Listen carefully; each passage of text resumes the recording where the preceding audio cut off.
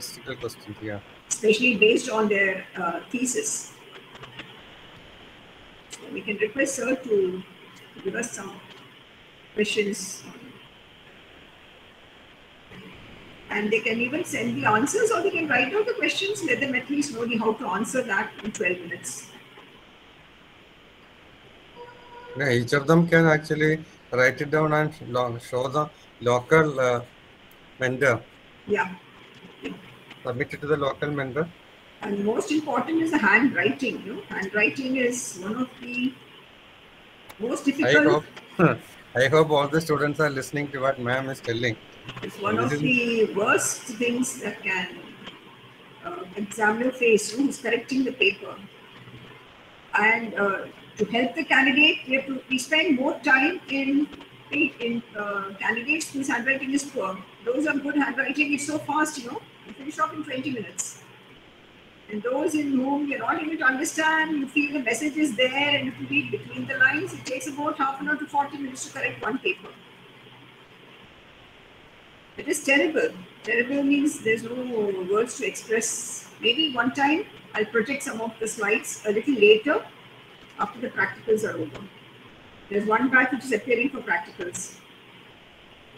Okay, the, after their practicals. Okay. 120, 24 of them are appearing for practicals. There's one batch of 24 to appear for practicals. So let them finish and then. Yeah. Are the date been announced? Date announced? I do not know. The theory correction I heard is over. So, so after that, I'll predict the.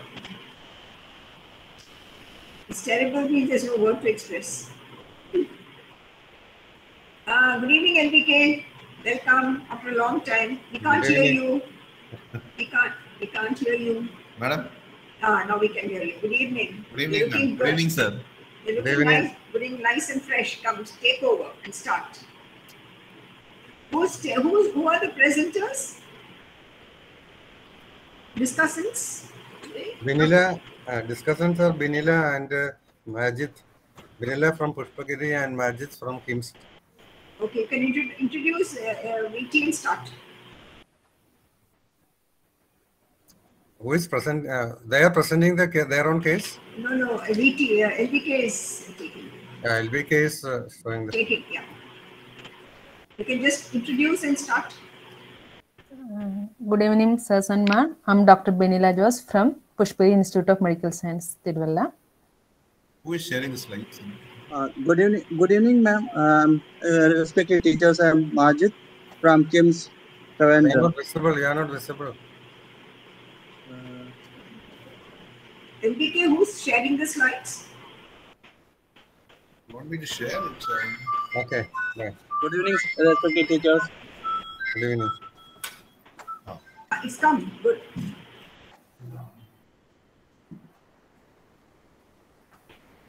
LBK can take over. Uh, Okay, who's taking up? Yeah. Vanilla. Uh, case history 51 year old male, self employed from Coimbatore, presented with complaints of yellowish discoloration of eyes for the last one week and right upper quadrant pain for last one week. Yeah. Can we go next slide? No history of abdominal distension, no history of pedal edema, no history of GI bleed, no history of decreased urine output, no cardiorespiratory symptoms, no history of altered sensorium, no history of complementary and alternative medication intake. So he is just. Uh, yeah. Tell me what do you think? The 51 year old male. He has come to you with uh, progressive, uh, I mean, yellow dystocia one, I think right upper corner of it for one week. Um, He doesn't have uh, any features of decompensation, like there's no abdominal distension. Can you expand on this? Yes, no okay, abdominal sir. Uh, I would like to know about any prodromal symptoms. No, there are no prodromic symptoms. All that he had is a mild right upper quadrant pain and jaundice for one week. Okay. Uh, no, any history of fever uh, or No, All no fever. There was no Uh, any obstructive symptoms, sir? He had No. mild pedal edema. any obstructive was no symptoms? Pardon? Any obstructive symptoms, sir? Obstructive jaundice, pruritus, clay colored stool, anything like that? There was no Uh, I don't remember. I don't think he had any cholestatic symptoms or uh, he had no uh, clay colored stools or did he have any pruritus? On and off, he had some mild pruritus. Okay, sir. Any history of any drug intake? No, no history of any drug intake. No history of any drug intake. There was no prodrome. He had mild pedal edema. There was no bleed. He came and told us that he did not have any. He had decreased. Uh, uh, no history of any decreased urine output. That's what he told. Okay. And uh, never the family did not say because he was found to be jaundiced. He was brought to us. Okay, sir. Any history of intake of alcohol or anything? Let's go into this. Any other thing you want on this? Alcohol, history of intake of alcohol. Go to the next slide. Uh, can we go to the next slide? There is no. So there was no history of pruritus, clay colored stools, weight loss, no history of any recent blood transfusion, outside travel, or any outside food. So somebody comes with a 51 year old comes with a recent history of right upper quadrant pain and jaundice. What are your possibilities? One is uh, viral hepatitis, sir. Good. Could be viral hepatitis. In the viral hepatitis, which hepatitis you think? Uh, hepat- hepatitis A or hepatitis B, sir. Hepatitis B, and then you are in Kerala, no? Yes, sir. Ha- viral hepatitis A. A, then Hepat- what does Kerala get every time? Every leptospirosis. time Verghese Thomas called me for the exam, then I used to see a lot of patients. Leptospirosis. What did you have the epidemics No, in there? when- Leptospirosis, dengue fever. No. This is a, this is not a presentation of uh, leptospirosis or dengue. No, sir. Hmm. Leptospirosis and dengue are called as tropical jaundice. How do they present? Fever, myalgia. What Then- is the difference between uh, hepatotropic viral hepatitis and a tropical jaundice? Clinically, how do they present? High grade fever, usually associated with high grade Now, fever. both will have fever. Both will have fever, my body pain, they have myalgia, anorexia, weight loss. But in patients with, uh, say, with the tropical jaundice, what will Yeah. happen with the onset of icterus? Uh, it's uh, in the second week. The patients, the, the, the people with tropical hepatitis or like people who have got tropical jaundice, they will, they will have continued to have fever. Yes. But whereas in patients with viral hepatitis, the fever generally Yes. subsides at the onset of icterus. That's the most important thing. Yes, sir. So, what is the other hepatitis which we commonly see these days? Alcohol. Hepatitis E. Uh, yes, sir. That's Yes, the most important thing which we see. Hepatitis E. No. Yes, sir. If at all, if you have viral hepatitis, this could either be hepatitis B, hepatitis A, A or hepatitis E. 51 year old man comes with jaundice, right upper quadrant pain, Alcoholic hepatitis is and the possibility, sir. alcoholic hepatitis, another possibility. Then Mm. Cholecystitis with the complications, polycystitis, the pain will be pain, pain. Which malignancy can start with a mild jaundice and a mild right upper quadrant pain? Uh, gallbladder, gallbladder malignancy, sir. Gallbladder malignancy you see in the north, in the south.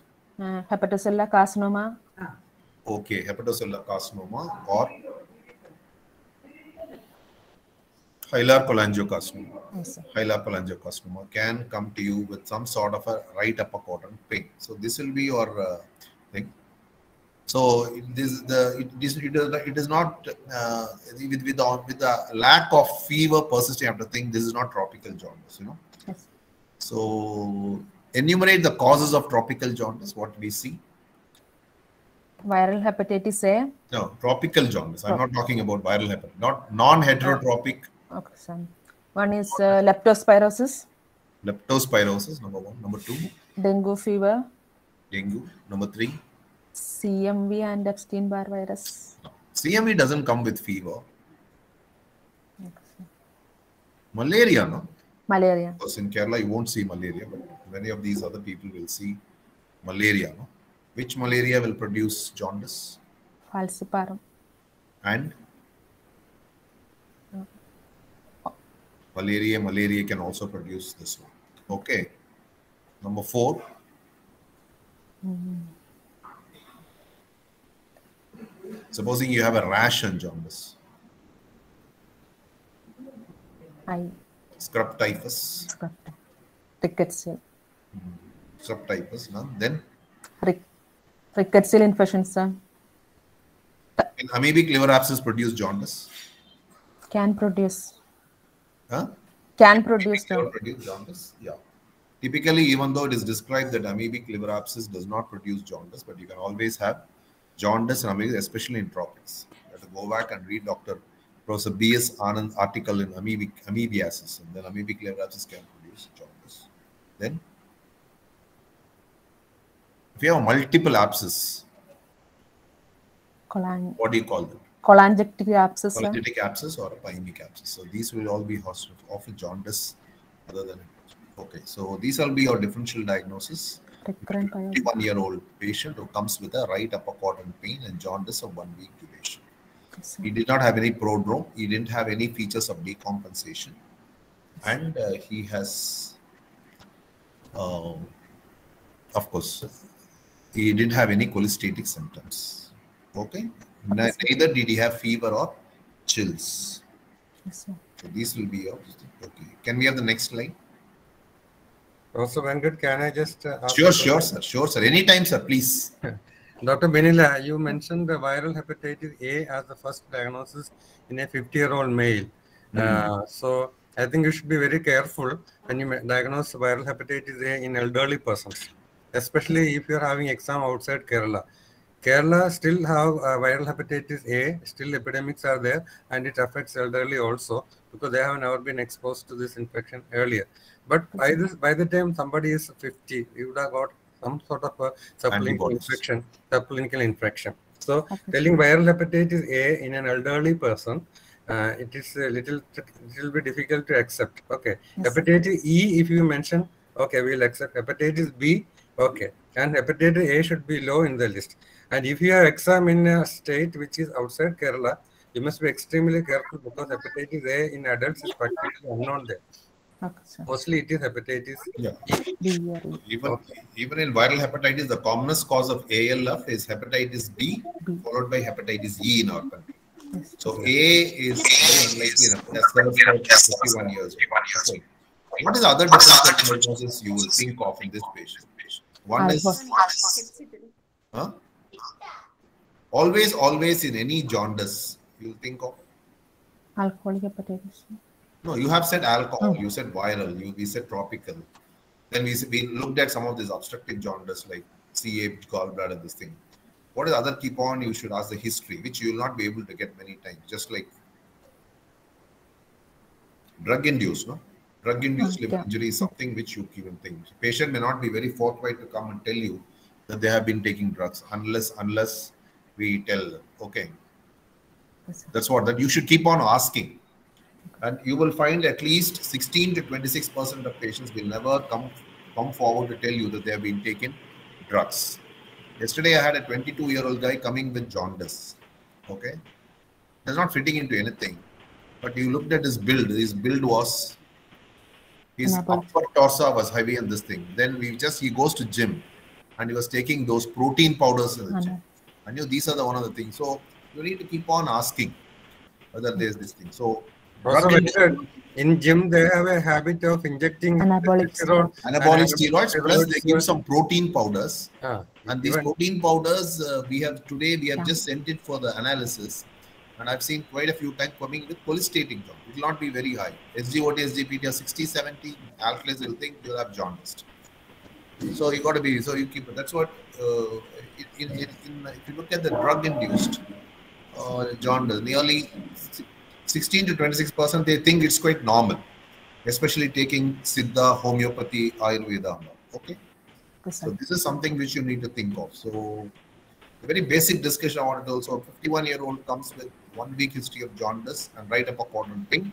These are things you need to think before you go on a thing. So you think of viral, you think of sometimes tropical not fitting in, you will think of drug induced, you will think of um, some other uh, probably 51 years we also think of some extra hepatic obstructions with a mild pain. Okay. and, and other parasites, no? like hydatid, ruptured inhibitory system, maybe Does it have a wide, wide differential? Because just should have one wide thing is discussion when somebody has come with it. So, Okay, We can move on. can we move on? Yeah. Family and personal history. No history of GA or liver pathology in the family. Married and two children. No high risk behavior. Sleep disturbed since onset of complaints. Chronic alcohol user consumes around 240 ml of whiskey since last 12 years. Last intake is five days back. Non-smoker, mixed diet. So, what do you think this is? Mm, he consumes uh, significant uh, amount of alcohol. Mm, So, he consumes significant amount of alcohol. So, what do you call it? What is significant amount of alcohol? Uh, for a So, when do you suspect? Uh, you think that he has got alcoholic hepatitis? yes sir. Why do you say he's got alcoholic hepatitis? Uh, he consumes 240 ml of uh, significant amount of alcohol intake means it is expressed in uh, grams that is more than uh, 60 Now, when do you qualify somebody is having alcoholic liver disease or alcoholic hepatitis?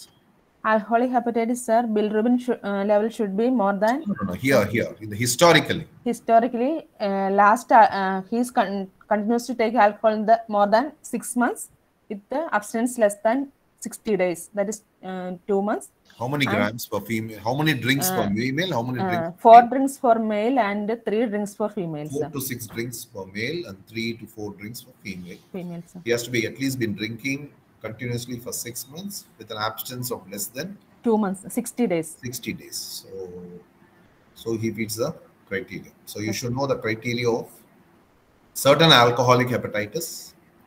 Okay, yes sir or is it probable alcoholic hepatitis? Definite alcoholic hepatitis.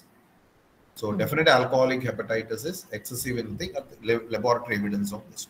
plus biopsy sir Then you can have probable alcoholic hepatitis and then uh, Possible- sir possible. hepatitis. Okay, so he's been consuming about 240 ml of whiskey since last two years. Last intake was five days back. Okay. yes sir So in this patient, you think he's got the this is a very classical presentation of alcoholic hepatitis.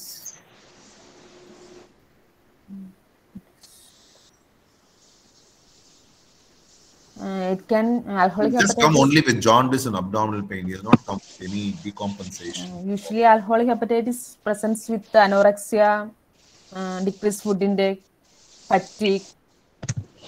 Then jaundice is can be presented. Then abdominal pain. Predominantly a severe alcoholic hepatitis. Generally, it's an inflammatory syndrome. So they have some sick, features usually, usually sick. inflammatory syndrome, isn't it? They'll be anorectic, they may have fever, they can have tech. Okay, all those things we have to see. So he consumes about, so by definition, I think we can consider he's got Significant. alcohol use disorder and probably alcohol liver disease, isn't it? Yes sir. Yes sir. Okay. Can I go to the next slide? Nutritional history. Total calorie requirement is 2000 kilocalorie per day and protein requirement is 80, 80 gram. He consumes 1600 that is uh, 400 kilocalorie deficient and protein 20 gram deficient. Yeah. Can you go to the next slide? So can you summarize this? A 51 year old male with significant alcohol intake for the last 12 years presented with uh, uh, yellowish discoloration of eyes and right, Right upper upper quadrant pain for the last one week with uh, no features of decompensation except pedal edema, No evidence of prodrome, prodrome, no pro- with no prodromal symptoms, with no features of decompensation. decompensation. Yes, sir. Like, what? Uh, uh, one What is ascites, uh, abdominal distension, hepatic encephalopathy, like altered sensorium or behavior, then GI bleed. GI, very good. So these are three things which you have not. So no GI bleed, this thing, and no history of any, Uh, altered sensorium or sleep, uh, no history of any hepatic encephalopathy. Or, CAM intake. yes, sir. Okay, Mm. these are things. Okay, so So what will be a differential diagnosis? First possibility is always um, uh, alcoholic hepatitis in this background. Yeah, one is alcoholic hepatitis. Okay. Number two. Then combination of alcoholic plus NASH. Uh, maybe I don't know about the patient habitus and all. Hmm. You may have alcoholic hepatitis. And then It's and superimposed. then viral hepatitis B and C. You can have alcoholic hepatitis with viral hepatitis, viral B, hepatitis. or you think he's got some other pathology in the liver. Yes, sir.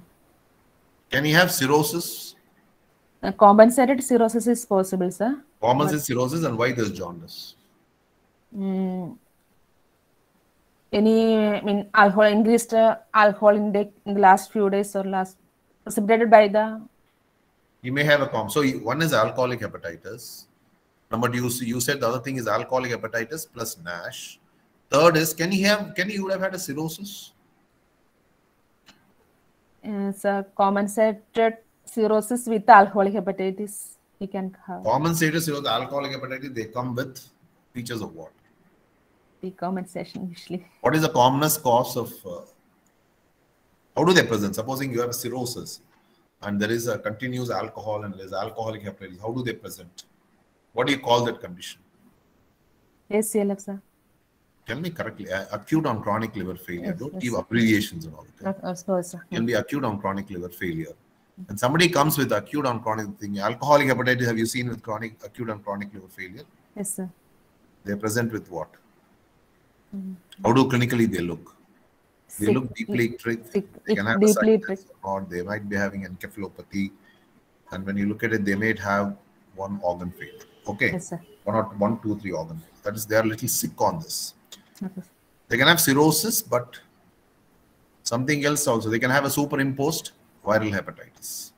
They can have Hep B or Hep E can also happen in this patient. So that, that's also a possibility in this patient. Okay. Yes, sir. Do you get always? Do you need always alcoholic hepatitis to progress to cirrhosis in these patients? What is the progression of? No, sir. If, If he stop alcohol at this moment, tell me what are all the what are all how do the alcohol liver disease progress? okay, sir. Uh, alcoholic fatty liver is the first change, sir. How many percentage will have alcohol fatty liver? Around 85 percentage of alcoholic can 100%. have 85 to 100 percent. Don't tell 85. Be correct. 100 100 percent. 100 percent. How many of them will progress to alcoholic hepatitis? 35 percent. Near 20 percent 20 for percent. alcoholic hepatitis. How many can progress direct to cirrhosis? 10 to 20. 30 percent. Okay, sir. And in that 30 percent of cirrhosis, if you have alcoholic hepatitis as a trigger for ACLF, 50 percent of them will develop ACLF. Okay. Yes, sir. So once you get into cirrhosis, what will be the rate of decompensation per year if you don't stop alcohol? Hmm. 8 percent. 7 to 8 percent to 10 percent per year. Yes, sir. Is HCC common in alcohol liver disease? It can occur, sir. It's more How much common. percentage?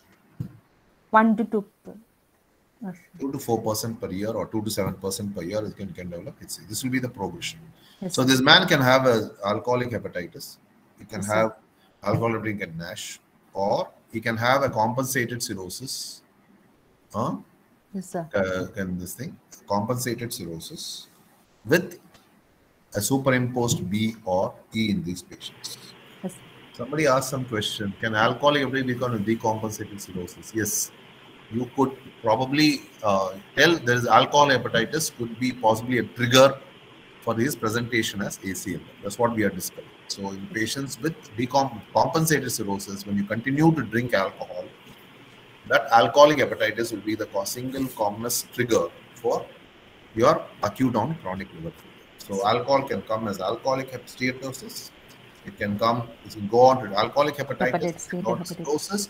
Alcoholic hepatitis is the single most common cause of producing ACLF in patients with cirrhotic. And when you become cirrhotic, you decompensate at 7 to 10 percent per year and develop HCC between 2 to 7 percent per year. Okay? Yes, that is sir. what that's what we need to think of. There was a question by Rohit. Rohit, what's the question you want? Rohit? You raised your hand, you can just ask the question. Okay, continue. There's some questions in the chat box. Um, okay. Clinical examination. Patient is conscious, oriented, icterus present, no pallor, So cyanosis. what, what was your proposed differential? Mon- um, alcoholic hep- hepatitis Hmm. first one then uh, superimposed uh, viral or viral hepatitis or uh, metabolic na- nash Hmm. then With jaundice, no? All are jaundice with pain. then UCL. So HCC is still a possibility, no? HCC? Yes. Uh, yes Let's ma'am. see HCC, and background alcohol, NASH, that's possible. Maybe associated virus is there, we do not know. yes ma'am. And HCC will come, because especially the. when you when you have HCC rapidly coming up on alcohol liver disease, most of the times it may be coexistent with a NASH or a Hep B or a Hep C. See, Among Hep B and Hep C, which is more common in alcohol liver disease? hepatitis B sir. Hep C. Hep C is one. Okay. When we consider choledocholithiasis in usually severe pain. jaundice 51 years generally tends to come with come with fever cholangitis cholangitis. Mostly in elderly patient only 10% of the patients with choledocholitis can come with painless jaundice. Generally in this age group they come with severe pain and the pain is uh, is associated with fever and chills. Okay severe pain okay Can it be a veno-occlusive disease, central hyaline sclerosis? What will be the presentation? as uh, deco- uh, ascites Yeah, they can have a large liver, tender liver, ascites will be they'll be more toxic and sick. No? yes The way the case is being described, the patient doesn't seem to be toxic. No? yes ma'am. Description doesn't seem as though it's toxic. Is it is it possible that the patient's got some secondaries in the liver? Jaundice and uh, jaundice ma'am. and pain? Yes, because Yes, they're just getting jaundice and pain, but maybe there is a secondary Malignant actually, infiltration, malignant, Yeah. yes ma'am. You Yes, keep that in mind. secondaries can present Yeah. lymphoma Lymphoma. yes ma'am. Budd-Chiari syndrome can be a differential. Budd-Chiari syndrome can be differential for any chronic liver disease. But they, this, if at all they present, they have to present with an acute Ascites and, and it, have some pain. Then they come, initially they come with ascites also. Okay, it's only the chronic but they present as a chronic liver disease. By the time they have a lot of collateral, so they may not decompensate. They decompensate if there is a superimposed viral hepatitis, superimposed malignancy, or there is an extension of thrombosis into some of these hepatitis. So this is what happens in this. Okay. Yes, sir. Okay. Uh, conscious oriented icterus present, no pallor, cyanosis, clubbing, lymphadenopathy or pedal edema, bilateral parodosis swelling present, no other stigmata of uh, CLD, vital stable, parabdomen soft, right That hypochondrial means there are no, there, there were a lot of spiders in this patient. Okay, sir. and there was no history of uh, there was no ascites there was no uh, there was a mild parotid and uh, bilateral parotid thing but there was there was spiders yeah his vitals were stable. He had a mild pedal edema. Okay go ahead. Liver felt 4 centimeter below costal margin, firm in consistency, spleen palpable 7 centimeter below costal margin, minimal free fluid present, no dilated veins. okay. So what do you say this? Uh, He's he's got a firm uh, hepatomegaly with the splenomegaly with the minimal ascites. No dilating there is No no flapping tremor. yeah Other systems normal. what other systems you look for so the presence of splenomegaly the large and the large liver tender liver Yes, sir. Does it say it's only alcoholic hepatitis, or does you think the, What are your differentials now? Jaundice with especially with the and spleen splenomegaly. Chronic liver disease. Can it be any storage disorder? There are no veins. Any storage disorder? Infiltrative disorders. What storage disorders? Infiltration is not storage, no? Uh, Gaucher's disease, glycogen storage diseases. ma'am. Gaucher's at the age of 51. Less likely, ma'am. Hmm. Which are the other storage disorders? You have hepatosplenomegaly, 51 year old, Yes. hypogonadism, alcohol, diabetes. Uh, ma'am, uh, hemochromatosis. Hemochromatosis also should come in your BD, you know, especially the pain. They can be predisposed to HCC. Yes. See, after examination, I would again think, you know, whether could it be again that that differential for hemochromatosis. That should come. Since he's got a spleen palpable, and, and portal hypertension. Yes. spleen palpable, you need to think of one diseases may be due to portal hypertension. no? So that means this patient that had a chronic liver disease, Yes. got a portal hypertension, and basically what has happened is continued abuse of alcohol produ- produced an acute Yes. alcoholic hepatitis Acute. over a pre-existing. As Madam said, he may have an alcohol liver disease, but since there's a large, there's a spleen which is about seven centimeters below the cost margin, he may have other diseases, isn't it? You need to think of some infiltrative disease. Can it be a lymphoma? It could be a lymphoma, Possible. could be a sarcoid, could be So the, the message is this, once you find that, in fact, what I would do, in fact, as you take the history, examine the patient, no? Then you get the hepatosplenomegaly, then see that you've not missed on the notes, sternal tenderness, just go backward, you know, and just see that you've done the complete examination, fever, all that. You should just, just get back, just go back to diagnose it for hyperpigmentation.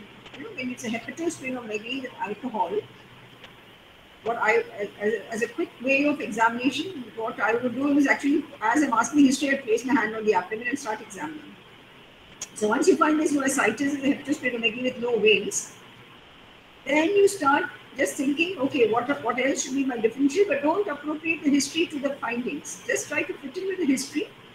Okay. But in the examination, just see that you've done everything that could include the hepatosplenomegaly. That is most important.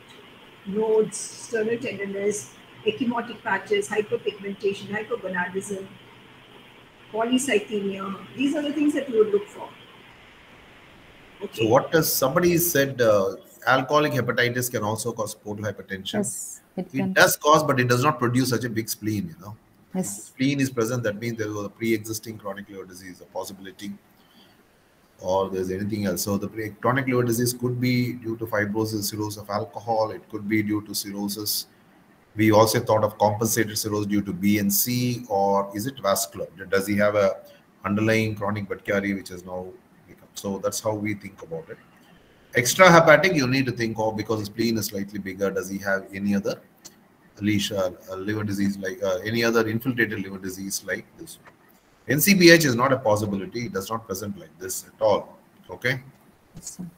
So in, in the history of significant alcohol, so there was a spleen which was seven centimeters. That's what we. Think. The, the person who's asked NCPF, what was in your mind? Can you just come forward and say, you cannot just you know, ask questions like, I mean, try, just try to analyze why you asked the Why did you question. say Why- NCPF? Why, Just why because did you raise, yeah, why did you raise the question of NCPF? Whoever spoke, I don't know, I don't know who asked it. Can you just come forward and um, speak out, please? The person who asked the question for NCPF, why did you consider NCPF in this patient at all? Please come, it's an interactive session, so just come forward so that we know what mistakes you make or where, did you ever consider this? Yes, Geeta, We- this is a- we can't hear you. Hello, ma'am. Good evening, ma'am. Now, why was NCPH considered in this? Why did it come to your mind, NCPF? Ma'am, in the presence of splenomegaly with the no cirrhosis, liver liver normal echoes, she can suspect NCPF, ma'am, in middle age. No, liver is firm in consistency. Spleen is felt. Liver is felt because even alcohol liver disease can produce a large liver. No this case, will tend to come much earlier. whether present with jaundice. They generally tend to have large spleen and patient would have been complaining of some left upper quadrant discomfort pain for a long time. Recurrent GI bleed, What is this thing? Dr. age Verghese? of, recurrent Yeah, GI bleed, age of presentation. These NCP uh, presenting with jaundice is very unlikely. Unlikely. That's it's not it's it's not a standard presentation. Unless you have portal biliopathy. portal Yeah, that is keratosis. fag end of the- all. Fag Just and flag end of it. By the time you would have bled once or twice, you would have Yeah. seen you. Okay. Other systems are normal. Which other systems you look for in these patients? Some people are very, very fond in alcohol liver disease. What are the other systems will get can get, get affected? So one is higher mental functions, That is very, very, very, very. You'll always be looking out for this finding. neuro, mainly neurology. One is neurology, sir. The patient mental has function. breathlessness. He will ask you this question. I'm asking you what question. Aspiration pneumonia, patient have unconsciousness and No, alcohol. He's never had any altered sensorium. He never had anything. So somebody with alcohol, one exam is very particular. He'll be he'll be waiting for you whether you have said that or not. alcoholic cardiomyopathy. Exactly, alcoholic cardiomyopathy. So he'll ask you what is the size of the heart. So be careful. There are some examiners who want have you looked for a cardiomyopathy. Then they'll keep checking on your cardiomyopathy. Is the JVP elevated? Is there a cardiomyopathy? Is there a S3? Okay, LV S3. Okay, all the so be careful. You look for that. So Yeah, some people are very concerned about the nutrition. very concerned about the fine, especially in alcohol. nutrition. Nutrition. They will look for uh, features of uh, muscle loss and frailty test. They'll ask for. Then some people are very concerned about uh, peripheral neuropathy and also posterior column sensations. They may ask you whether you have asked for the symptoms and asked uh, looked at Yeah, it look during for a physical examination. So what are the neurological examination will you look for in patients with alcohol liver disease? Alcohol. One is higher mental function, sir. For any hallucination, delusions, cause of cause psychosis or one case encephalopathy like that. Then uh, peripheral sensations, reflexes, posterior column sensation. Peripheral neuropathy. Then You uh, posterior for column, what else you look for? uh, posterior column subacute look for posterior column sensations. Then Mm, then- Then can they uh, develop uh, ataxia? yes, sir. What ataxia? Cerebral, cerebellar ataxia can occur. What is it? It's a gait ataxia or stance ataxia? Okay, Stance ataxia. thanks. Oh no, sorry, gait ataxia. Stance ataxia is vermis.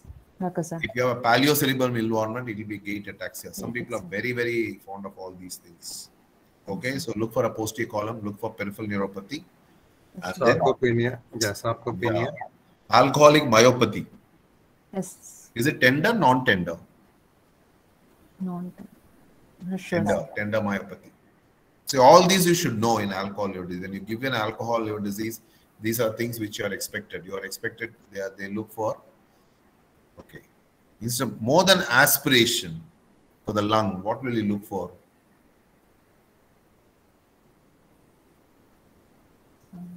What are the two chronic infections alcohol alcohol patients alcohol can develop in the lung?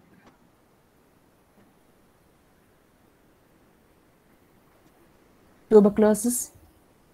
Number two, Klebsiella pneumo.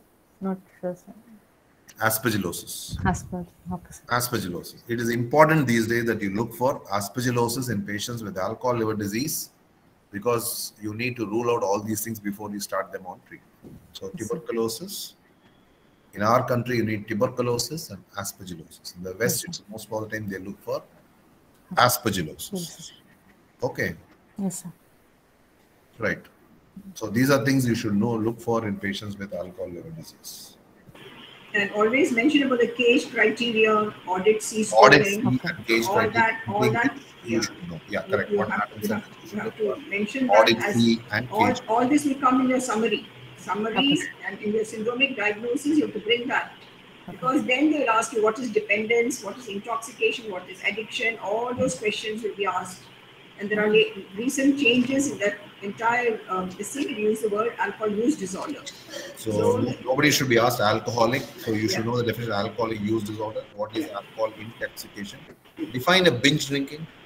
If uh, it's uh, six drinks for male, five drinks for male and four drinks for females, that is In, in how many hours? in two hours.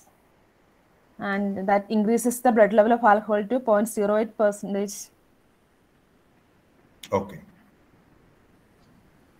And always do a mental examination on all these patients. And you should look for predominantly on the cognitive skills. Yes, So this is what you should do in alcohol liver disease. Okay. yes, sir. And, and, alcohol and liver disease, this will be an extensive uh, assessment. What's your knowledge about that? Okay. So if, if there is a flap, then don't look for the number connection test and all that. But if there's no flap, you have to do mini mental scoring. MMS is very important. And uh, if there is a flap, of course, you don't do any of the other coordination tests. But if there is none, then you have to get for ask him to sign look for micrographia. And number connection test is always uh, comparing with the same literacy status. You must know all this. Some of the hospitals have in their ward the retail train test. They have the number connection test. Then you know you must know what is FCTA and what is FCTB figure connection test. All these are part of the examination. Okay. A quick cursory examination of a patient who's consuming alcohol. Okay. Okay. Okay. Uh, next. So what's your diagnosis now? Give a differential so that we can investigate. Uh, Quick, one quick. One, possibility is four, five. one possibility is alcoholic hepatitis, supraadonic chronic liver disease with portal hypertension. You use the alcohol associated hepatitis. Yes, no? yes. Alcohol associated hepatitis, supraadonic chronic alcohol associated chronic liver disease with portal hypertension. You want to call it as advanced chronic liver disease, compounds with clinical significant what have the recent changes in the terminology. Would you like to use some of those terminologies? Compensated? Advanced chronic liver disease with clinically significant portal hypertension. Compensated? Please read the Baveno, no? The Okay, latest okay, Baveno. okay. There's a changing terminology, subclinical and clinically significant. So one you think is alcohol associated hepatitis. Second uh, second? uh, Yeah, infiltrative just, just, just, just keep the spleen, you know, it's a massive spleen with no veins, no minimal free fluid is plus minus. Hemochromatosis is a possibility. Hemochromatosis, yes. Then number three, Mm, then infiltrate lymphomas. That, lymphomas. Lymphomas, myelofibrosis. What will be the presentation of myelofibrosis? You're not la- massive splenomegaly, ma'am. You think, you think is it a splenohepatomegaly or hepatosplenomegaly? Splenohepatomegaly. Ah, so now what's the differential for a splenohepatomegaly? They'll all be hematological. Last will be non-cirrhotic intrahepatic portal hypertension. Yes. and all the hematological MPN, myelofibrosis, Yes. all these when in that, the liver is also involved, then MPN, myelofibrosis will also come top on the list. So you ask me history of fatigue, exhaustion, tiredness. In the history that will come forward. No? Alcohol may just be a red herring and it's just giving you away. Supposing when they give the results and they say that platelet count is 2.5, you know, then you've already considered that possibility in your differentials.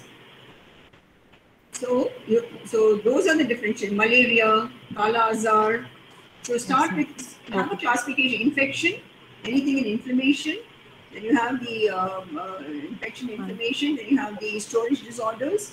Then you have the um, uh, neoplastic disorders. Have a way of classifying, and then miscellaneous causes. Okay. Okay. Okay. The- These are the things that you consider, you know, if- there's a splenohepatomegaly, then the differentials will be hovering around hematological, that is one dictum. And, and the jaundice may just be a red herring, it's just giving you that alcohol bit and taking you away from the diagnosis, which could be totally different. So alcohol related and non-alcohol related, have that classification, you won't go wrong then. Okay. Okay. So now, so shortly, so one is infiltrative, hematological. What are your differentials? Hematological. Lymphomas, What lymphoma? non-Hodgkin's lymphoma, ma'am. Lymphoma. Then any other? Then myelofibrosis, Myelofibrosis. Yes. Then what about polycythemia? rubra, mm, mm, mm, but Polycythemia. You can have a massive spleen. What about hairy cell leukemia? They're all the causes. Amylo- amyloidosis. Amyloidosis is again infiltrative. You can have a large spleen and you can have a hepatosplenomegaly. yes. So actually, it is this case is actually discussion of a splenohepatomegaly with jaundice. You know, so Okay. we can hover around that. And in the liver, I think I'll not consider anything beyond that other than hemochromatosis on this side and uh, maybe alcohol-associated hepatitis. But I spleen will never be this large. It will never be this large. Okay, can we move on to the next discussant for the investigations? LVK? Yeah, madam. Uh, VT, differentials, order. Yeah, I think the liver disease, uh, because of the spleen, which is uh, fairly significant, we cannot put uh, liver disease as the first thing in this Yeah, group. exactly. That's one issue. That's one issue. So in the exam, after after after you done the examination, you can mention that uh, I would like to give a differential for a splenohepatomegaly. This is how Saraswat discusses, you know. Hepatopredominant is splenomegaly or splenohepatomegaly or hepatosplenomegaly. Then, then both are almost almost the same size. Okay? Okay. Okay. So, what's the investigations you want to? Complete hem, uh, hemogram. Uh, hemogram. Uh, uh, look for pancytopenia as in hypersplenism. Ajit can take over and then you can come Yes, back yes. for management. Yeah. Yes, yes. Can we have the next slide? So, uh, so lab parameters, CBC reads hemoglobin is 11.8, uh, MCV is 100, uh, 104, increase it. Uh, uh, total count is 12,000. Differentials are neutrophils 68, info 70, uh, and platelets are 3 lakhs, uh, 300. Uh, six, uh, INR is 1.7. Uh, Personal shows microcytic normochromic. So, he had an elevated MCV. Yeah. But uh, He has got hemoglobin 11.8. Total count was 12,000. LFT shows Platelets total were generally preserved. Huh?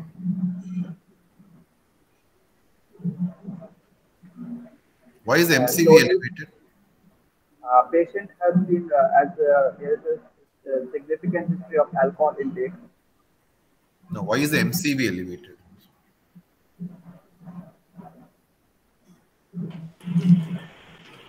Can alcohol liver disease have elevated MCV? They can have macrocytosis. Isn't it? Macrocytic. They can have macrocytosis. So they Ajit, your have audio is not clear. Ajit, improve your audio. We can't hear you. Please speak out. macrocytosis can be caused due to folate deficiency in these patients. Okay, so they can have macrocytosis. Can you hear me, Dr. Majid? I, yes, yes, sir, I can hear. So one is macrocytosis. His counts were uh, twelve thousand. So what are the usual? What are the usual total counts in alcoholic hepatitis? Usually, uh, there will be leukocytosis. It could be leukocytosis. So in alcohol liver disease, alcoholic hepatitis, if you have leukocytosis, what are the possibilities? So, uh, possibility of uh, it can be firstly secondary to uh, syndrome of alcoholic hepatitis or uh, there will be coexisting uh, infection. Infection. So how do you differentiate whether this is due to infection or due to alcoholic hepatitis? Uh, we can uh, look for CRP as well as uh, procalcitonin. Which is better, procalcitonin or CRP? Can you do CRP for this? Uh, CRP is uh, will be easily available and cheaper. So we will go first with No, CRP. but in studies which are shown to be better, better sensitivity to detect infections in alcoholic Okay. liver, alcoholic hepatitis. Procalcitonin. procalcitonin as peptide. It is not. It's not very. Uh, for CRP is not very sensitive to find out about infection and alcohol liver disease. Okay. So what do you expect in LFT in alcohol liver disease? Uh, there should Now, be, before you uh, look at it, what will what will be the LFT liver function uh, parameters? yes. What will be the Bilirubin, parameters? What do you expect the liver parameters to be? uh, there will be uh, hyperbilirubinemia, but not that significant if it is not severe acute alcoholic hepatitis. And uh, AST, ALT will be raised with the AST, Till, ALT, till what level they go up? They will not go beyond usually 400, less than 400. Yeah, less than five. Generally, it's above 50, but less than 500. Yes, sir. And it will be AST, ALT 2 is to 1 ratio. And uh, albumin will be low. So here, what is So here total bilirubin is 21, direct is 19. What uh, happens? uh, what happens to SGOT and SGPT in alcohol liver disease? Uh, it will, uh, there will be 2 is to 1 ratio. So AS, Which AST is more in alcohol liver disease? AST is more than ALT. AST is more than ALT, then, then this thing. Okay. So here you have a bilirubin of 21. You have SGOT more than SGPT. Albumin is low. Surprisingly, alkaline phosphatase is normal, but gamma GT was elevated. And his prothrombin time was prolonged. So he's got AG reversal, he's got elevated bilirubin, prolonged prothrombin time, and increased gamma GT. Okay? Yes, sir. Uh, gamma GT is one of the markers, although not specific for alcoholic liver disease. Oh. indicate that a monocyte 14% is normal. huh? Lymphocyte 17, M14, Yeah, madam. up to what is normal? I don't remember. Up to six is normal, ma'am. Up to two, uh, two to four is normal, ma'am. Huh, so this is 14, no? Yeah, it was 14, ma'am. Hmm. So any comments on that, Majid? Uh, monocytosis Hmm. can be some viral infection, especially uh, uh, mononucleosis Mononucleosis. Any any viral can go up, can can produce this. Okay, monocytosis. So probably this this can be consistent with alcoholic hepatitis, or he may have alcohol hepatitis superimposed on a chronic liver disease. Okay. Yes, sir. Can you? Yeah. Move on. Uh, What else you after want? that, after that, uh, we would like to do uh, RFC renal function test uh, to look for uh, creatinine. Uh, urea is 27, creatinine is 0.8, uh, sodium is lower 129, potassium is 3.9, it's normal, and uh, bicarb is uh, 18.5, and uh, calcium. So there was no. Yeah. So what do you say on this? So uh, there is a hyponatremia. Mild Rest of- hyponatremia. Okay. natremia. What is Uh, more relevant in this? and uh, blood urea is blood urea is slightly higher. Blood urea is normal. No, normal, yes. sir. Creatinine is 0.8. Fine. Is this important to have a baseline of this urea and creatinine in this patient? Uh, yes, sir. Uh, because uh, uh, knowing the creatinine being normal is a uh, better sign compared to uh, present, presenting with acute kidney injury. That uh, It means is, it all is important that you have a baseline so that if you want to look for acute kidney injury, you need to have a baseline urea and creatinine, isn't it? Yes, sir. Okay. And then uh, we can, uh, if, if present prognosticate also the patient uh, on the uh, admission. So all of you know the definition of AKI in a chronic liver disease, isn't it?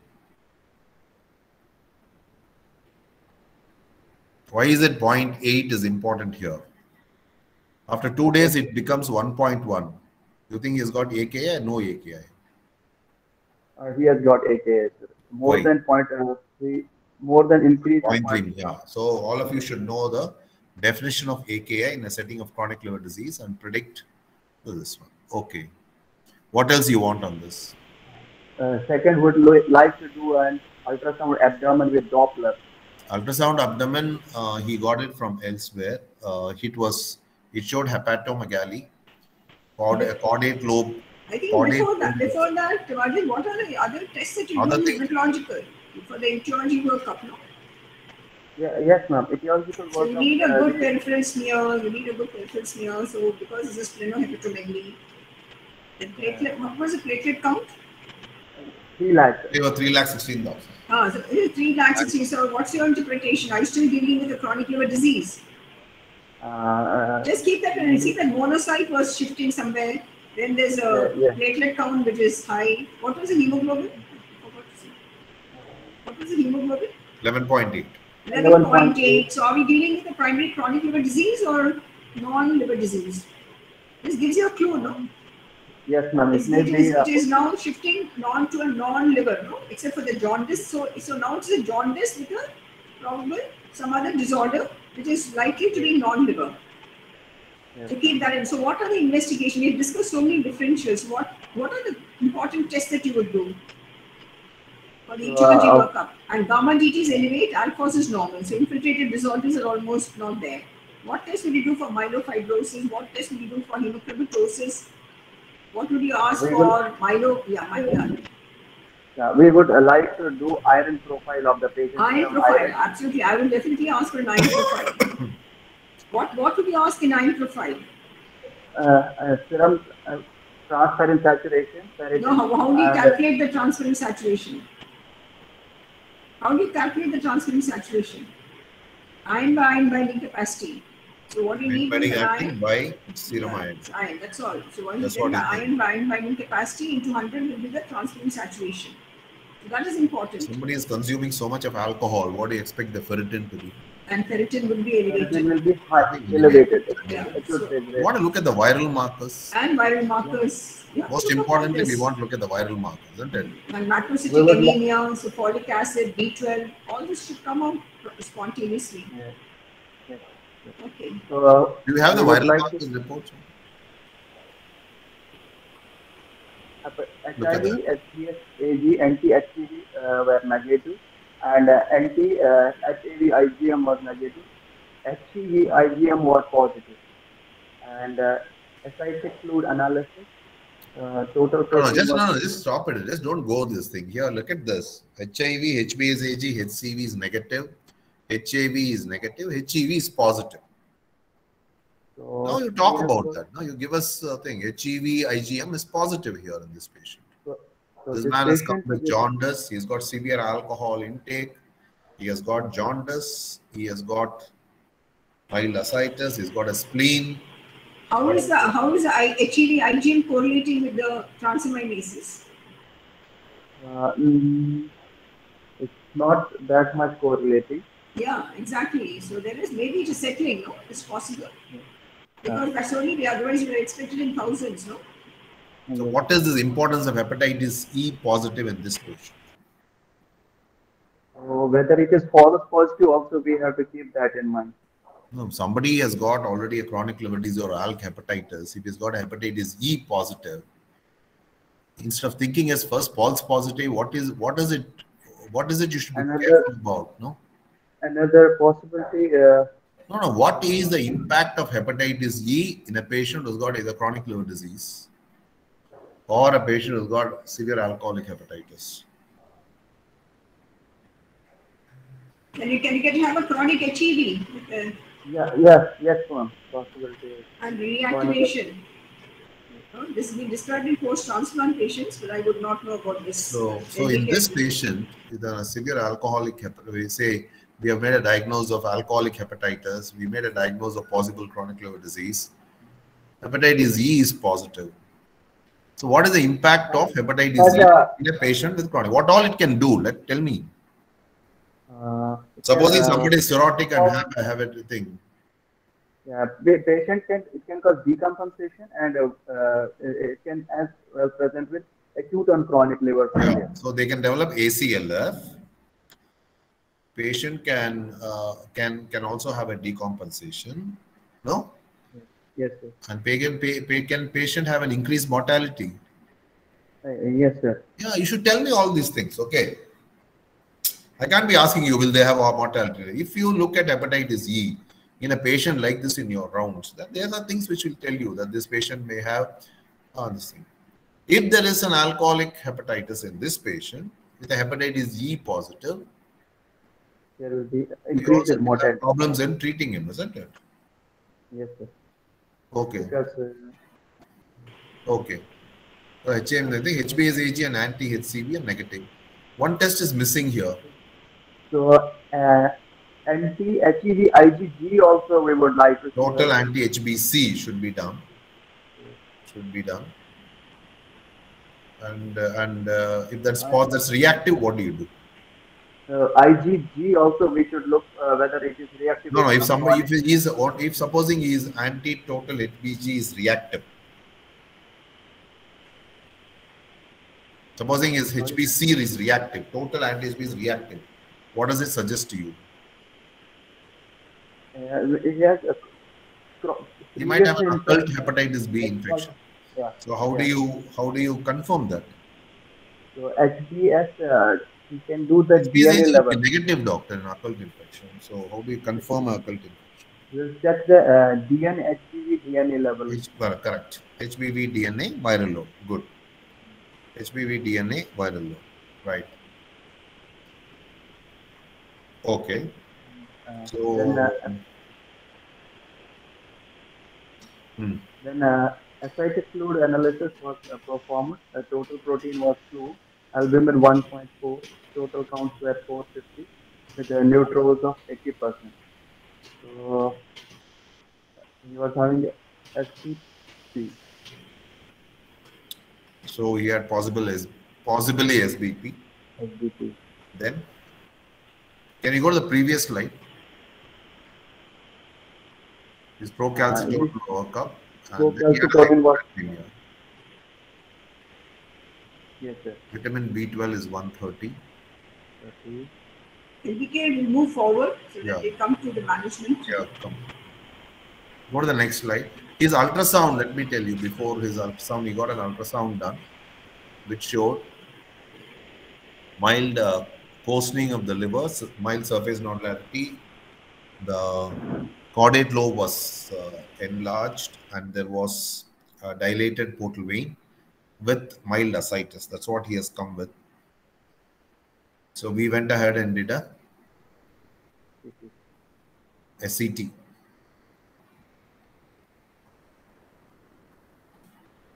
Can we have the report of the CT?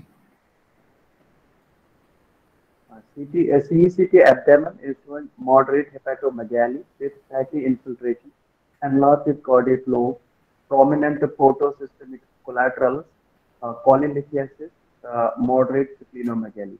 Hmm. So, So he's possibly had a chronic liver disease liver disease with with moderate, moderate uh, with collateral formation, portal hypertension. With, uh, collaterals of the moderate liver. That means he's got underlying chronic liver disease with a superimposed possible alcoholic hepatitis, and there is also a concomitant HEV hepatitis infection. Okay, Yes, sir. And he is hepatitis B, C negative. Echo was quite good. There was cardiomyopathy. Uh, no, no cardiomegaly. Okay, so this is your diagnosis. So he had a probably chronic liver disease, probably ethanol related, and he had uh, he continued to abuse alcohol. So he has definite clinical and biochemical criteria for acute alcoholic hepatitis. Possibly came with ACLF because he had ascites. No, this one. There was no encephalopathy, no renal, no AKI, but he had mild SBP and a superimposed hepatitis E infection. How will you, how will you manage this patient? Now, uh, somebody else is going to take the management, or you're going to continue, Dr. Majid? Both of them, who's, anyone third person Let's go back to Dr. Uh, Binila. Yes, sir. Tell me the outline of your management in this patient. Uh, first is uh, nutritional management of this patient. Then treat the infection, SBP. Nutritional management of alcohol liver disease. Okay. What is the nutritional? Um, no, first thing I want to know is uh, okay. Some questions I want to pose to you, right?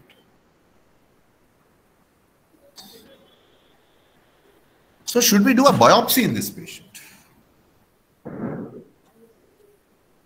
No, not indicated, sir. So, when will when will be the biopsy indicated? If there is When a talk diagnostic dilemma, no, we want indication of biopsy. Majid, would you like to do biopsy in this patient for management? Uh, no, ma'am, Why? because I, why? unlikely because we have a, a, a known history of alcoholic hepatitis as well as a viral infection, so we don't have dilemma of diagnosis. Yeah, but And, what's your, uh, what's your, what's your diagnosis after this? There's a fatty infection, more like a steatohepatitis. So you're going to give steroid, you're not going to give steroid. What is your line of management? Based on that, would you like to do a liver biopsy? So here Uh, the thing is, uh, it is not sorry. Before you come to uh, decide on a liver biopsy, in alcoholic hepatitis? What are the so you need to define whether it fits in with definite alcoholic hepatitis. Does it fit in with pro- probable alcoholic hepatitis or possible alcoholic hepatitis? Dr. Binila, tell me what is definite alcoholic hepatitis? What is probable alcohol hepatitis? What is possible alcoholic hepatitis? Definite means clinical plus lab plus biopsy, sir. You don't do definite. You don't do biopsy. Definite. You don't do biopsy. Definite. What is definite? Uh, what is a definite? Uh, when do you say patient has got a definite alcoholic hepatitis? Clinical and lab parameters are correlating and ruled out as other No, causes. historically, as you said, definite is clinical criteria. That means alcohol use in excess of 60 grams or 40 grams per day for more than five years, Yes. continues for six months with abstinence less than eight weeks. That's the clinical criteria. Yes. If you have a bi- bilirubin of more than what, three, Three. if your liver enzymes are more than 50, less than 500, and your prothrombin time is more than 1.5, then you're fine. You can think of definite age. Probable is you have certain features of alcohol liver disease, but at the same time, patient is positive for virus. So, so this could be possible hepatitis E or Hep B, Hep C or something. Okay. Yes, sir. Possible is a patient with alcoholic hepatitis is recently confounded with a GI bleed or an encephalopathy or atypical A- AST ALT pattern. All these things are there. Then you think of a Possible. possible age. Then only then. In possible age, yes, you go for a liver biopsy. In probable, you may or may not. But if you have a definite age, you don't do a liver biopsy. Yes, In this patient, do you think we should do a liver biopsy? Platelet count is normal. So the Other things platelet are all count is normal. normal here. It is not fitting, you know, it is not Not fitting looking classical, with, uh, definitely chronic alcoholic. You've got a spleen, moderate splenomegaly, both clinically as well as by the CT guided. I would go But for a polycystic collaterals, but you don't have uh, varices here. Okay, so probably in this case, we went ahead and had a, Biopsy. a liver biopsy. I would even consider bone marrow study because because the, the platelet Monocytes. count is more. I asked a hematologist opinion even before I considered liver biopsy. So in alcohol liver disease, liver biopsy, which route? Transjugular, uh, sir, in this patient because Always and in this patient he's having ascites, so only transjugular, uh. sir. Citus PTINR was 1.7, even though the platelets were normal. So we do a transjugular liver Transjugular. biopsy. Liver biopsy. So when you do transjugular liver biopsy, what are things you measure? HVP. Huh? Tell me, how do you derive at HVPG? Hmm. When you put in That- a, when you put in it, what do you first? You go and wedge it and you take the hepatic wedge pressure. Pressure. Then you bring back, occlude the balloon and pressure. Look for the what pressure? Free hepatic vein pressure. Yes, sir. And hepa- hepatic wedge pressure gradient is more than If it's uh, more than 12, it's a chronic liver disease. no, Uh, no, no. No, so more than uh, up to five, it's normal. More than five, up Anything above six is portal hypertension. At 10, you develop varices. At 12, you can have bleed. Hmm. Okay. Yes, sir. So HVPG was 18 here. And can you go through and what is the complications of what will be the percentage of complication in a transjugular liver biopsy? Can be local site complications like What is the accidental. percentage? 10, 20, 30, 40, Not sure, sir. less than 10%. What is the usual mortality with liver biopsy? no. You should know all these things, man. Transjugular, it is about 0.09%. With other liver biopsy, maybe anyway 2 to 3%. So, can you read this? Um, uh, liver biopsy specimen, gross features, grossed by uh, mm, received nine linear fragments of greenish tissue measuring 0.1 into um, uh, 1.2 So, you see a liver tissue with distorted architecture due to extensive portal to portal bridging fibrosis, areas of scarring. What does it say? uh, uh, fibrosis grading, so Fibrosis No, what does it say? There is a portal to portal bridging for areas of scarring. So that means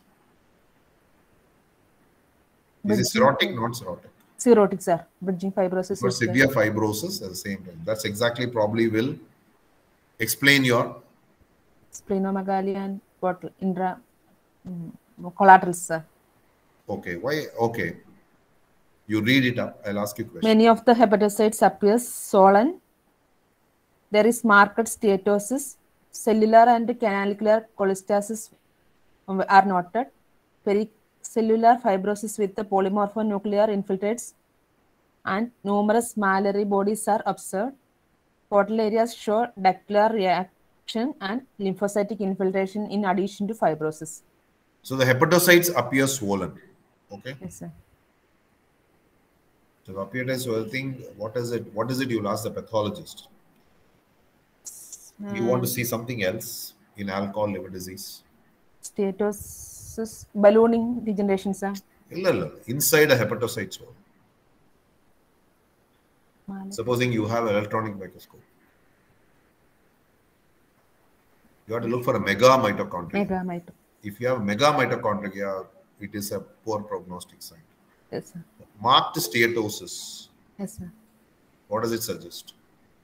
Mm, the, So the portal to product bridging fibrosis areas of scarring, such as the patient has got cirrhosis.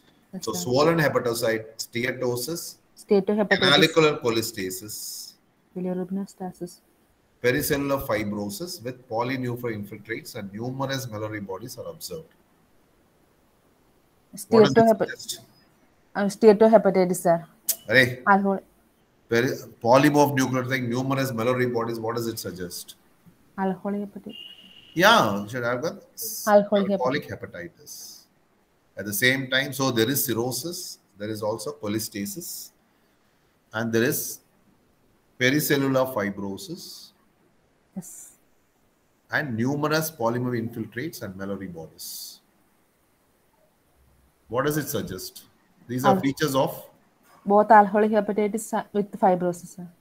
So tell me, so so cellular and canalicular cholestasis. There is polymorph nuclear infiltrates. Tell me the significance of each of these. So if you see a cellular and canalicular cholestasis with bilirubin inside, Bilirubinostasis is a feature of alcohol. so how do you, on based on histology, how do you say this patient has got a good prognosis or a bad prognosis? Mm-hmm. So you should learn about what is alcoholic hepatitis histological scoring. Scoring system. So the presence of mecha mi- mi- mitochondria, Bad, bad prognosis. There's presence of bilirubin cholestasis, Bad prognosis. then your polymorphia nuclear infiltrates and numerous Mallory bodies. There are also things. So now you have what is called as Mallory body hmm. DENK scoring. So you have to look at the number of Mallory body uh, Mallory bodies uh, DENK cells and you can you can prognosticate on that. Okay. Yes, sir. It's called the MBD scoring, right? MBD scoring. If you see a lot of polynuclear infiltrates in a liver biopsy, what does this patient has a risk?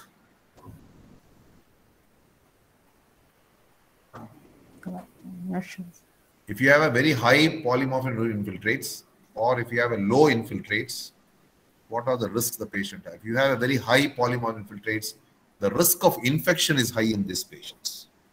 Supposing your patients do not have a polymorph infiltrates, the mortality is high in these patients. Okay. Okay. And uh, look at this. What does this suggest? Pericellular fibrosis, Uh, cirrhosis, sir. The pericellular fibrosis along the hepatic veins, isn't it? It Yes. is called the chicken wire appearance. So whenever you have a pericellular pouring hepatic veins, for a given portal hypertension, alcoholic liver disease has got a much higher portal hypertension because there is portal to portal bridging fibrosis. At the same time, there is an element of post-sinusoidal thing of pericellular fibrosis due to hepatic vein sclerosis, isn't it? That's why these patients tend to become with a much bigger spleen sometimes. Okay. So he has got alcoholic hepatitis, he's got cirrhosis, but most important feature is that predominantly it is alcoholic hepatitis, Okay, which is severe, Yes. isn't it? Yes, sir. If you look at his uh, Maddrey's discriminant function.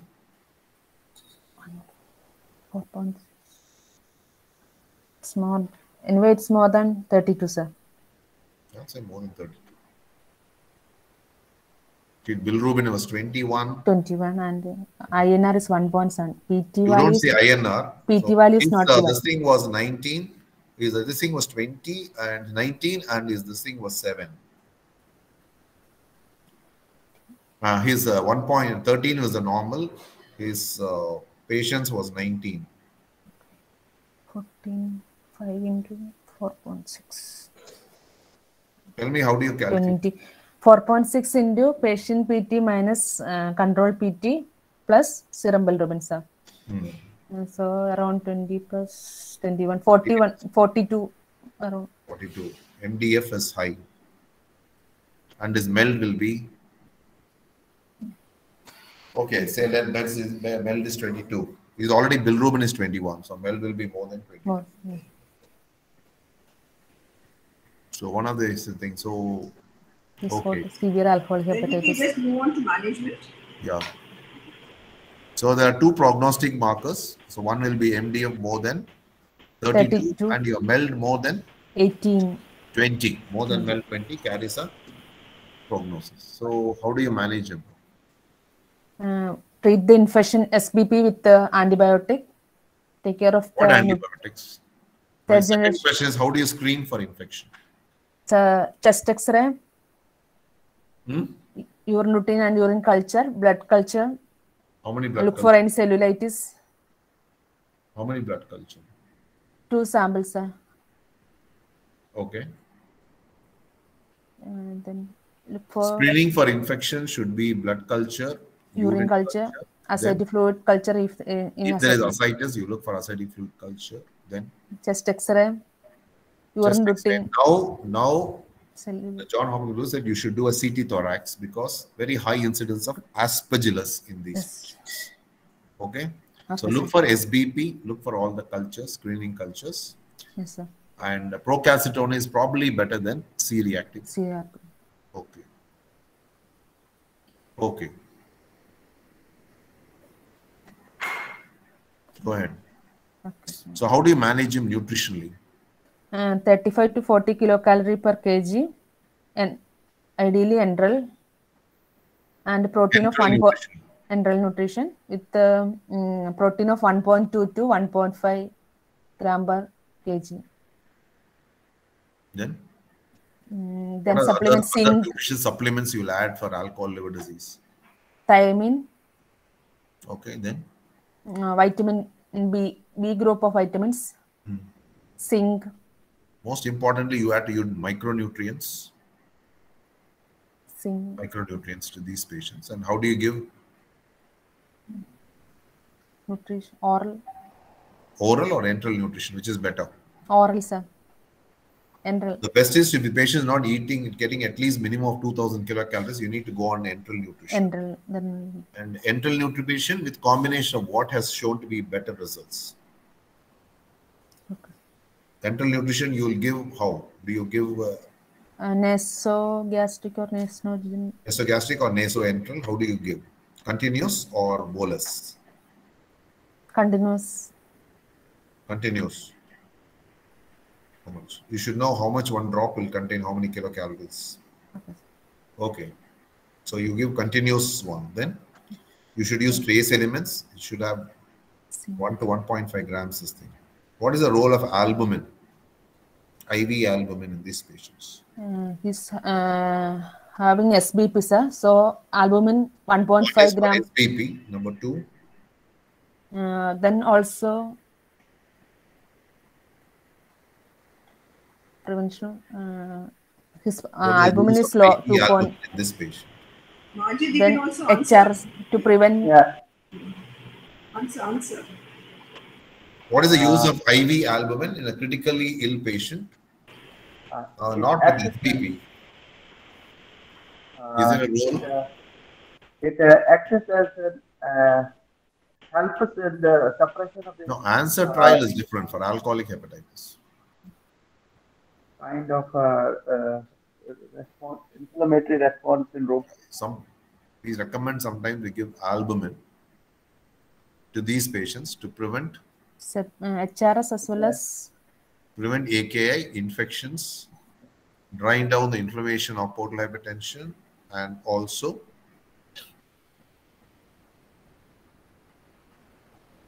improve the nutrition. Okay. So enteral nutrition and anything else has been shown to be enteral nutrition and something else is better. Uh, IV um, vitamins. IV, Uh, something else uh, IV, IV you can give along with enteral nutrition, which only has a better results than enteral nutrition alone. N-acetylcysteine. So yeah. N-acetylcysteine plus enteral nutrition seems to have been better than this thing. Okay. Okay.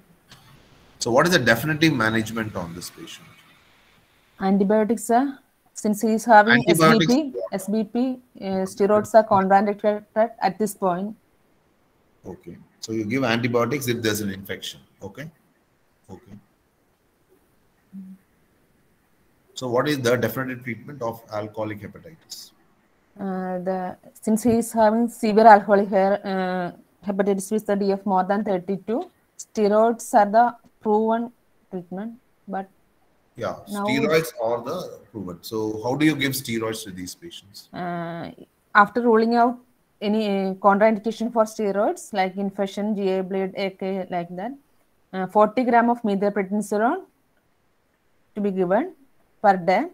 Uh, reassess after seven days with uh, one minute. Lille Somebody score. said, uh, uh, so is there a mortality benefit in alcoholic in patients with critically ill cirrhotics? In critically ill cirrhotics, if there is a hypotension, probably you can give albumin 5% fine drink, but the latest study in NEJM has shown that there is not much of a difference in the mortality of giving critically ill cirrhotic. But in patients who got hypotension and shock, if you need to give, you can give albumin at better than to give 5% 500 than 20% 100 ml. Okay. But actually, the two studies have shown that one study has shown some benefit, the other study in NEJM in a critically cirrhotic did not show any benefit in a critical ill cirrhotic. But answer trial is something which is different in a decompensated cirrhosis. When you kept on giving albumin, you were able to prevent infections, you were able to correct hyponatremia, you were able to correct AKI, and probably reduce the ascites. This is the answer trial, which the albumin went on at 40 grams every week for 14 weeks. In a critical ill cirrhotic, they have not found anything. But if you need to correct hypotension, I think it's better to give 5% 500 ml albumin in these patients. Somebody else asked this question on this. Okay. So you give 40 milligrams per day of what? uh, prednisolone, sir. For how long? Uh, after seven days, reassess with the Lille score. If it's uh, more than 0.45, stop it. Then that that that means the patients are not responding to steroid. Not responding to? Steroid. Okay. Then If he responds? if he responds, continue it for 28 days. Hmm. Then after that, uh, it can be either abruptly uh, stop or can be uh, tapered over next two to three weeks. So what does steroid do? Okay, not two to three weeks. You give 40 for four weeks, then every week 20 week, 20 milligram every other every week for next two weeks and stop it. Okay. You can't say two or three weeks all. Correctly, you should tell. Okay, sir. Give for three to four weeks. It's only four weeks and then everything, or you can abruptly stop it. So what does steroid do? What did it do? To reduce the hepatic inflammation. It it reduced the short-term mortality. It reduced the 28-day mortality. Mortality. Yes, sir. mortality in this scope.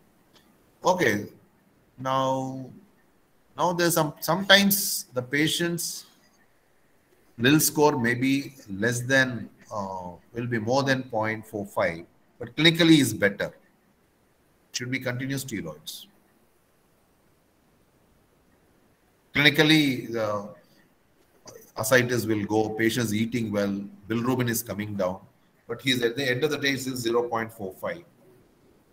Should we still stick on to that, or there are any other current thoughts on that? Not sure.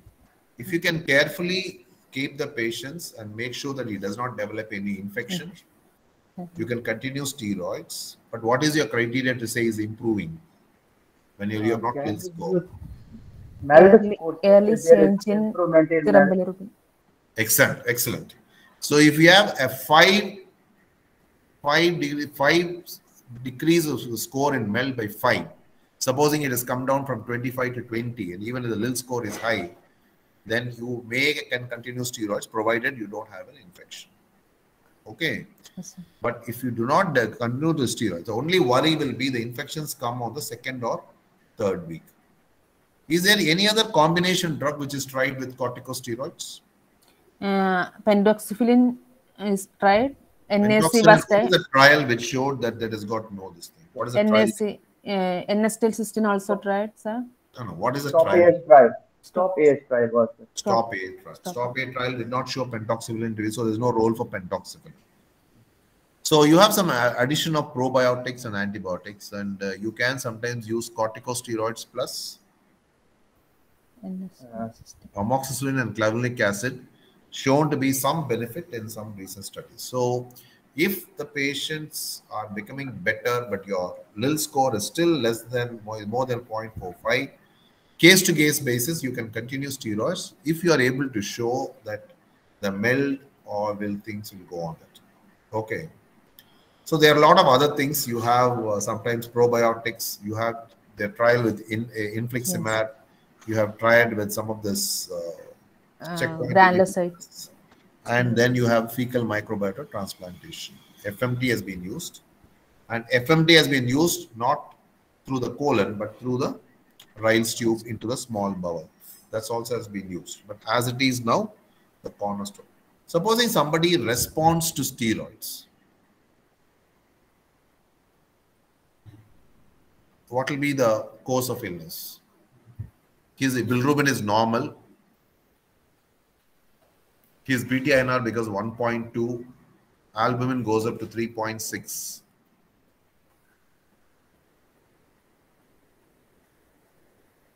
Very high DF scores. It's more than 68 or 70, we don't give.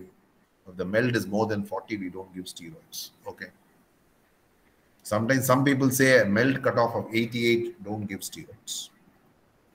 No, I'm sorry, DF score of more than 88, don't give steroids because the mortality is very high.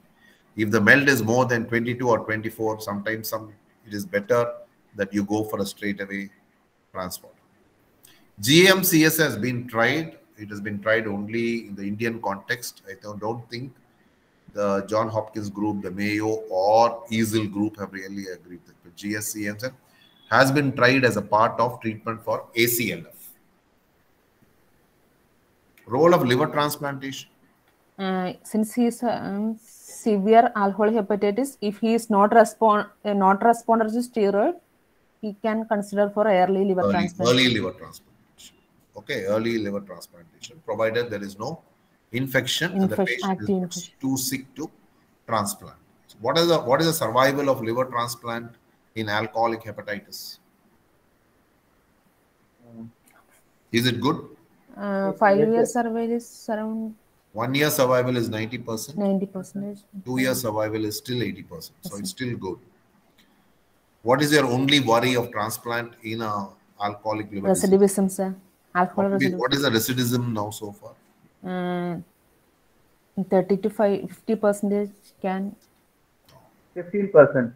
bigger study out of out of uh, the uh, out of the uh, French study where 35 people did only two had recidivism after 760 days. Okay, so they're not much of a recidivism. So the previous rule that you have to have a six month waiting period is gone. Now. So we can do an early liver transplant. The only worry of an early liver transplant in alcoholic hepatitis will be that there's a very high incidence of fungal infection. So Yes. we start in our center day one antifungals. Then they can have a lot, or most of these patients have an underlying cardiomyopathy where they can go for a stress cardiomyopathy. So in general, you need to, uh, in alcoholic hepatitis, as you said, nutrition. You can give N-acetylcysteine. Importantly, look look for early for infections with appropriate cultures. Steroids are the cornerstone if is eligible. If he is ineligible for steroids, who are the candidates who are ineligible for steroids? Majid. Who have, who have infection, number one, sir.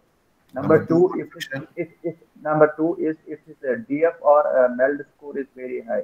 Yeah, very very high DF of more than 88, MELD mode of more than 30. Then yes. Uh, third point will be patient has got a GI bleed Yeah, bleed. Yes, and patient has got Okay. acute kidney injury. Acute kidney injury. So, So we don't give steroids in these patients. Okay. So I think this is in general. So this patient is predominantly. So what we discussed is, we looked at the clinical criteria of alcoholic hepatitis. We looked at the biochemical criteria of alcohol. How do we diagnose? Kindly read through all the CAGE criteria C, AUDIT-C. Yes. Uh, we looked at what is ACLF in alcoholic hepatitis. We looked how do we look at how do we prognosticate alcoholic hepatitis. We looked at what is the role of liver biopsy, and we looked at the prognostic factors of liver biopsy in patients with alcoholic hepatitis. Can histology tell you whether they will respond to steroids or not, and what are the poor prognostic? Then we had in in in this thing we looked at how do you broadly manage this thing what is a Lille score. And sometimes individually we can go away from the Lille score and look at the reduction of MELD mm-hmm. as a pointer for continuing mm-hmm. steroids. Okay. Sometimes we can start steroids after treating the infection, but we don't need to wait too long. And they found that there's no difference when you give steroids and patients. The only question they ask is, should we stop infection, stop steroids when they are on infection? If the patient is doing well, I don't think they recommend stopping steroids at the infection you can continue steroids with along with the infection unless the patient is becoming very sick okay and what is the role of liver transplantation in these patients Yeah, I think that was a wonderful coverage. You know, the other other important thing is there will be deviation. You know, of the tetrasplenomegaly. yeah That deviation will take place somewhere down the line. So, the deviation the spleen has told us a chronic liver not agree. spleen has told that there's a chronic liver disease but your biopsy has showed both evidence of portal portal fibrosis cirrhosis scarring plus active alcoholic hepatitis So you should uh, read uh, fantastic grand rounds on alcoholic hepatitis by Philippe Mathurin in Journal of Hepatology 2018 and read the recent alcoholic hepatitis and clinics and liver disease. Okay. And you should uh, read some of the treatises by Ashwin Singal, where he is only the one who propitiated that sometimes you need to go beyond the Lille score to treat these patients. And I, I think you have, you have to read Sidhu's paper, no, the bovine Yeah. Bovine, Colostrum. bovine. bovine liver cholesterol. cholesterol. Yeah, that, That's all been coming into the newer uh, this one. But still experimental. I think still Yeah. it is experimental. They can just say they know it. The point is that bovine colostrum, which some of the company gave, was very costly. Yeah. It's 2,000 rupees per day, but the guy who comes with alcohol hepatitis, his earning is only 50 rupees per day. So But we are the not research research is going on. No? Sidhu's paper from Ludhiana. So I think you should know about that. The role of stop with this case, man. The other case Yeah, will take I- the no, that's fine. This is I, wonderful coverage, no? I, I mean, complete coverage on alcoholic hepatitis. But I'll tell you, there will be a deviation after your. Supposing someone has given you a hint, the registrar has said this is a case of alcoholic hepatitis, and you start going in that direction. Once the lab reports come up, surface, you know, you'll find that you have to give a wide differential after examination. After examination, give a wider differential and not stick on to alcohol associated hepatitis. I think that is most most important because ascites is minimal. I think clinically they could not pick up. And it was ultrasound that picked up and then they managed to get some paracentesis done. So have a wide differential so that you know you have a wide perspective of the case, alcohol associated and non-alcohol. Very important. The only thing, the only I didn't discuss is somebody responds to steroids. 60% tend to remain cirrhotic, okay, over the next five years, even though they may not decompensated, provided you have completely abstained from alcohol. In your treatment, you should also say, how do we prevent relapse? The best drug to use is to prevent relapses naltrexone and a- acamprosate. Baclofen. Baclofen is Baclofen, you can't use SCL. naltrexone when there's a severe thing. Baclofen is one drug. And the third thing is uh, then there was a bit of interest because we started doing plex for everything, plasma volume exchange. Is there a role of plasma volume exchange in alcoholic hepatitis triggered ACLF? I think the results are not very, very good. At least in our center, we are not good. We have stopped doing it for alcoholic hepatitis ACLF because generally they are infected and you do this if they really worsen on this. And even the John Hopkins shows that they don't do. In case if they're worsening, they rather go for a transplant rather than than, than a plasma volume exchange. Initially they used MARS, but MARS also useful. So alcohol liver disease, I'm not very sure about other centers, but at least our center we have stopped doing for alcohol liver disease rather than we can pitch in more for rather than wasting money and time then go in for a transplant we do these these patients okay Vicky, your comments? It's a very a wonderful coverage of a case with alcohol use disorder, cirrhosis with the superadded alcoholic hepatitis, and possibly ACLF. And I think the management has been very nicely covered. I think every aspect has been covered. But I think in the examination, uh, once a case of alcoholic hepatitis, uh, all these things will be asked. You will be questioned thoroughly because alcoholic liver disease is something which is seen in the wards day in and day out. Day and day almost there every, almost every time there's a patient. So you are all expected to know everything about the management of alcoholic liver disease no it's just like a basic thing for a gastroenterologist. So you have to know everything about cirrhosis liver everything about alcoholic liver disease everything about aclf everything about alcoholic hepatitis etc because examiners will not forgive you for making mistakes on these aspects. So we have to be absolutely thorough regarding the management. And to the- LVK, LVK, when should they consider steatohepatitis? Steatohepatitis. steatohepatitis generally most of them develop steatohepatitis 100% develop fatty liver and steatohepatitis. That's a time when your bilirubin is normal. Your liver enzymes are moderately elevated but your liver bilirubin is generally normal.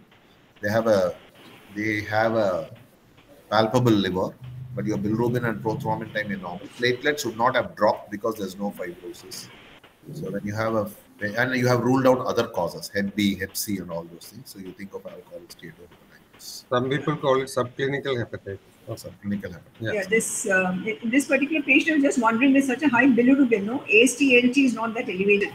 So The only worry a- we had was he was hepatitis E positive. and, and E positive with no increase again in AST, ALT, no? That was again against, and uh, also even for alcohol, it was just 93 and 40 or something. So in your biopsy, it was more of alcoholic hepatitis, and that's why we put him on steroid despite having hepatitis E. Uh, we took a chance on him. Otherwise, uh, this one would have been done. Okay. Nice coverage. Thank you, LBK. Thank, Thank you. you, madam. Thank, you, sir. Vicky. Thank you, thank you. VT sir looking tired today. Shrija was there, no? No, she's left, I think. She was interacting for some time. Okay. Want to conclude, BT?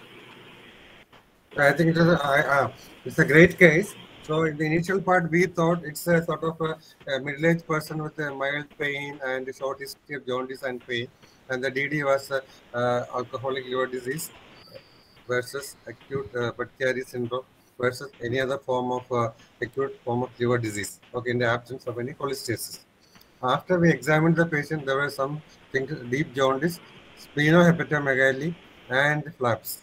That was so, ma'am was repeatedly suggesting you have to. You may be asked about hematology. It's absolutely right because if the spleen is more than what you expect, the, the complete direction change will occur, and you will go to hematology. Okay, so you must be very thorough about discussion of moderate splenomegaly, severe splenomegaly, mild splenomegaly. Okay, and that is wonderfully covered.